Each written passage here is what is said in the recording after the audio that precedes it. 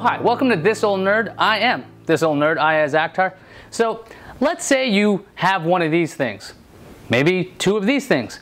Maybe one of these gigantic, massive things I have around me, and we call that a house. Maybe you have an apartment. Whatever you have, it's fine with me. Just because you've managed to settle down and just because you have an apartment or a house or a condo that you love, your tech life isn't over. In fact, it's just beginning. Your tech life is about to take off because here at This Old Nerd, we're going to explain to you how to make sure your house is the most tech forward house on the block. So today, we are going to be focusing on wiring up your house with Cat 6 Ethernet cable. Now, how would you go about getting that information? Sure, you can go online and try to find a guide, or you could do like what I did and ask a friend of mine who was an IT professional, hey, Scott. And he would say, what? I say, hey, Scott, how exactly do I set this up? So he did me a favor, created a guide, put it on his blog, and we're going to use that as the actual model to uh, wire up our house. The main things you're to need for this project, a drill, a pair of pliers, a pair of scissors, a crimper tool to actually put modular plugs on this giant box of cable. Well, you don't need to put on the giant box cable, but only for your run of cable. This is way cheaper than pre-made cable and this is a great project. Now what you're gonna find out about this entire endeavor is that preparation is key. Okay, preparation and knowing what you're going to do is so much more important than the actual execution. You have to have a plan. Now in this house, we figured out something. We're going to need an eight port switch in the middle of the house over there by the stairs. This is the middle of our home here. And from there, all the other cables come off of. Now that might sound crazy, but most of the connections we need are actually near that part of the house. It may be different for you. Maybe you just want all your cables in one location. There's no need to centralize the location unless you actually want to. Again, if you're going to go into an unfinished basement like we have here, it's very easy, right? So you're taking a look, you can see that we have some cables over there and they're actually tied down with these staples. This is electrical, but you understand the idea. If you have a bunch of cables, do what you can to actually lock them down. You don't want them moving, you don't want to pull them out, you don't want to damage anything. It's probably in your best interest to make sure that you don't have cables being ripped out by some little, I don't know, kid or something, right? Also, while you're in this basement or a crawl space or whatever it is, take a look at where certain items are. We have steam running through some of these pipes when the winter's here. You're gonna wanna make sure your cable doesn't touch that. You don't want it melting. And if you're going to put things in the wall, make sure that the cable you use is rated for in-wall use. If you use another kind of cable, it may not work, it might not be able to handle the heat, all kinds of changes in the house. We at This Old Nerd take no responsibility for what you do with this information please, please, if you're going to play with power tools and you're going to be doing any of this stuff, use your common sense and be safe, okay? We're going to go upstairs and we're going to go and put some holes in the hardwood floor. Now, your partner may not like that because, you know, let's face it, you always have to deal with the partner acceptance rating. Okay, either you're getting a thumbs up or a thumbs down, or maybe that thumb's in the middle, and that means you haven't pissed them off entirely. Your partner may be your husband, your wife, your girlfriend, your boyfriend, your job. I don't care what you're married to. The fact is, if they're not happy and the technology you put in the house pisses them off, you're not going to be able to get away with it. Just trust me on that one. Anyway, when we go ahead and test this, and we go up these very stairs, we're going to show you how to put in a, a little hookup in a closet. We're gonna go into a little closet, we're gonna test it out there, because if it fails, nobody's gonna know. And when it doesn't fail, because you're watching this old nerd, you'll be able to go and brazenly put an ethernet jack anywhere. Just don't put it in the middle of the room, okay? I've thought of the idea, it's theoretically awesome, but somebody's gonna trip. That's not a good idea. Don't, don't put it in the middle of the room. Let's go upstairs and have some fun. All right, now normally I clean out the closet before I go ahead and do something like this, but you know what? let's get crazy. So we got our drill, we got a spot in the closet, we're gonna go do this.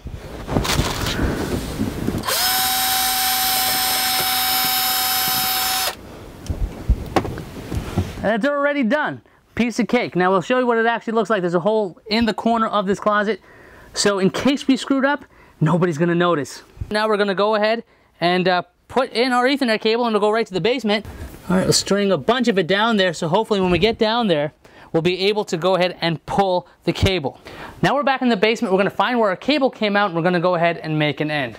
And I think we got it here. Good. And Bingo. So let's go to a nice spot where we got some good lighting so we can actually go ahead and show you how to actually put the end on this thing. We've got our cable, and so there's going to be a couple of things we're going to have to do. Step one, we have to unsheath the cable. So you're going to take your crimper, you see it's got a razor there. We're going to actually place the cable through, about an inch there, and then we're going to turn the crimper. This should create a nice little cut. We're going to rip this right off. So we've taken off the sheath, and now we have a bunch of twisted pairs. We're going to have to untwist these. All right, so now we've untwisted the pairs, but you can see that the wires are pretty crinkly. So what I suggest you do is take a screwdriver, like I have here, and just run the cables on the screwdriver. So what this is going to do is straighten out the cable, and this is going to help you pull the cable through the guide. Next, we're going to actually put these cables in the order that they need to go into the actual plug. Now they're roughly in the order we need them to be. We have the orange and white, orange, green and white, blue, blue and white, green, brown and white, and brown. Now, our plugs have two pieces. We have a guide and an actual plug. Now, what we're going to do is take this guide, you can see it has tiny little holes in it. We're going to string our cables through this, then we're going to put this guide into this plug. We're going to string these wires through this guide. Now this may be tricky to see because, well, it's some fine work, but we'll show you how it works. Start with the orange and white. You can see the orange and white through the guide. Now we're going to put the orange in, that's the top. Now these guides actually have two rows, if you can see that. There's a top and a bottom row. And, um, well, you are alternating. So the orange and white goes on the bottom, followed by the orange which goes on the top. So now you may see me put this together in fast motion. Okay, now we have our cables through our actual guide. Remember the order is very important. Now we're gonna neaten this up. So we're gonna take our pliers, we're gonna grab one end of our cables, and we're gonna hold the guide, and we're gonna pull nice and neat. We want the guide as close to the sheath as you can get it. We should mention this, by the way. You might want to take a look around where you cut the sheath. Make sure there's no actual nicks in the wire because that's going to damage the actual integrity of the cable. So what we're going to do now, now that we've neatened this up, we're going to cut off these excess ends with our pair of scissors.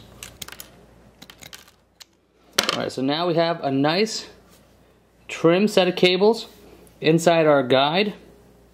Very nice. Now what we're going to do is we're going to put the guide inside the actual plug. You might have to squish the, the sheath so it fits in there. But you're going to see this go right, right in there. So you can see that. Now we've got our plug and our guide. Now we need to crimp this down. This is why we have a crimper. So we place the plug into the crimper. We're going to push down. You're going to hear a nice crinkle sound.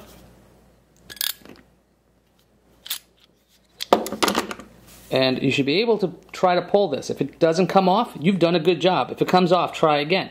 All you gotta do is repeat the same steps on the other end, and you'll be networking in no time. You may fail the first time you go ahead and make a cable. That's okay. You're not expected to be an expert right off the bat like yours truly.